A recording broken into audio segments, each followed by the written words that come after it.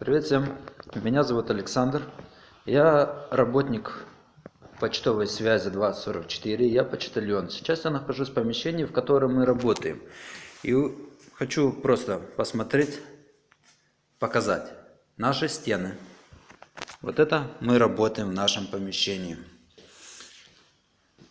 Э, Мы очень много раз обращались в Пошту Молдовы, чтобы она нам предоставила нормальные условия, чтобы она сделала ремонт наконец-то. Смотрите.